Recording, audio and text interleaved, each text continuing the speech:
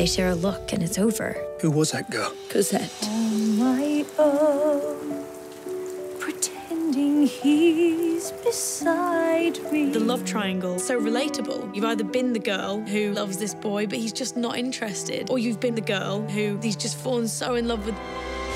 On Christmas Day, It's a movie that just ignites your heart.